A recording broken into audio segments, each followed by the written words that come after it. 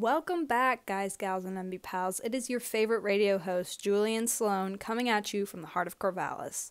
Now, today we'll be covering a couple of issues that have been making rounds in the Commonwealth. The topic for today? It's vaping. You heard me. Not smoking, but the all inclusive vaping.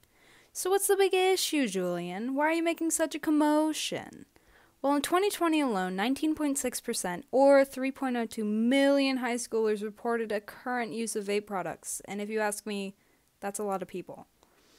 Now, some of you may be thinking, that's not a problem. There's no nicotine, and it's not as bad as cigarettes. Well, honey, do I have some statistics for you? Your regular Juul device has an average of 5 to 7% nicotine content. And don't say, I already knew this, because a 2018 study showed that 63% of people did not know Juuls had nicotine. So why should you stop? Man, you're literally killing your body! Recent studies and research show that vapes are linked to a multitude of lung issues.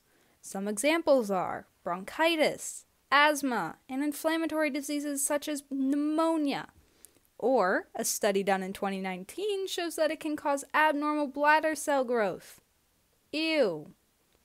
And not to point fingers, but if you're a cinnamon flavor lover, you have a higher chance of cell death.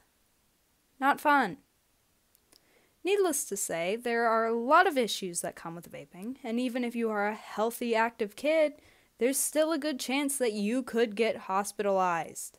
And those bills, they are expensive. So listen, folks, it is not cool to Juul. Don't do it.